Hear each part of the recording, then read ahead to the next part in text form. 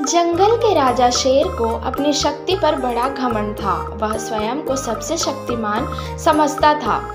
इसलिए जंगल के हर जानवरों पर अपनी धौन जमाता रहता था।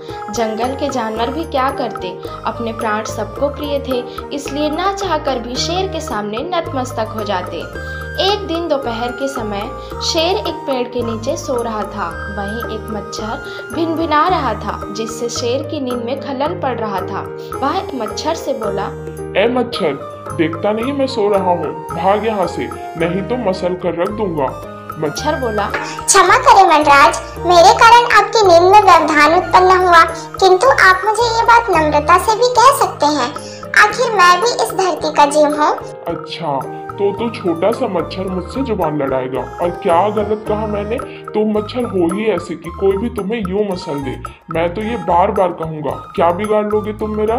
मच्छर को शेर की बात और व्यवहार बहुत बुरा लगा। वह अपने साथी मच्छरों के पास गया और उन्हें सारी बात बताई। सभी मच्छरों को शेर की बात चुप गई। उन्होंने तय किया कि इस संबंध में एक बार सब मिलकर शेर से बात करेंगे।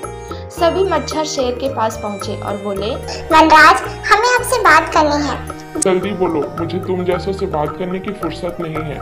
शेर बोला राज आप होंगे बहुत शक्तिशाली किंतु इसका अर्थ ये कतई नहीं है कि आप अन्य जीवों और प्राणियों का मज़ाक उड़ाए या उन्हें नीचा दिखाएँ। मैंने जो कहा सच कहा। मैं सबसे शक्तिशाली हूँ और मुझे कोई हरा नहीं सकता। घमंड में चूर शेर गर्जा। ऐसा नहीं है।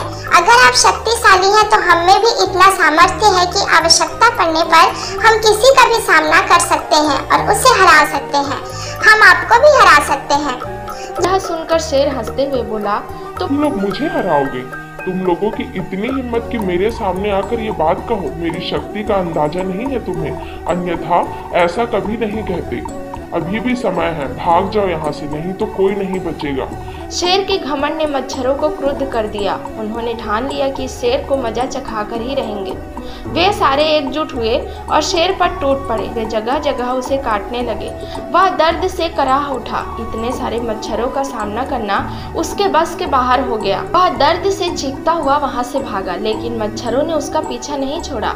वह जहाँ भी जाता, वे भी उसके पीछे जाते और उसे काटते। आखिरकार शेर को झुकना पड़ा। उसने हार मान ली। वह मच्छरों के सामने गिड़गिड़ाने लगा। मुझे बख्श दो। मुझसे गलती हो गई जो मैंने तुम्हें तुच्छ समझकर तुम्हारा मज़ाक उड़ाया और तुमसे बुरा व्यवहार किया। आज तुमने मेरा घमंड तोड़ दिया है। अब मैं कभी किसी को नीचा नहीं दिखाऊँगा। मच्छरों ने शेर को सबक सिखा दिया था इसलिए उन्होंने उसे काटना बंद कर दिया। वे बोले घमंडी का घमंड कभी न कभी अवश्य टूटता है। आज तुम्हारा टूटा है। घमंड छोड़ दो। अन्यथा एक दिन ये तुम्हें ले डूबेगा। और कभी किसी प्राणी को नीचा मत समझो। हर किसी का अपना सामर्थ्य और शक्ति होती है। शेर तौबा करते हुए वहाँ से भाग गया। तो दोस्तों, इस कहानी से हमें यह सीख मिलती है कि घमंडी का सिर अवश्य नीचा होता है।